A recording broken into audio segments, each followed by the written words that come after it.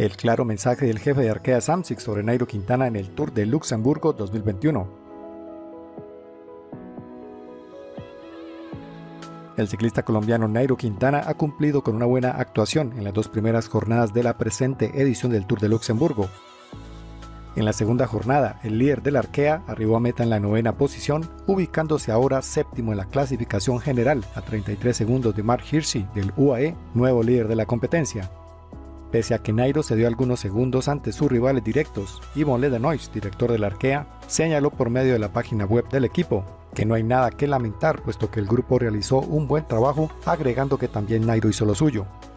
Finalmente, el directivo manifestó que confía en Nairo y en su capacidad para lograr un buen tiempo, dejando claro que no se van a rendir de todos modos, puesto que están solo en la segunda etapa y faltan tres más, agregando que la carrera está lejos de terminar. Por su parte, Nairo Quintana manifestó por medio de sus redes sociales que ha visto como positivo el resultado en la segunda jornada del Tour de Luxemburgo. Nairo apuntó que se quedó un poco fuera de punto en la parte final, no obstante agregó que los daños al final no fueron grandes,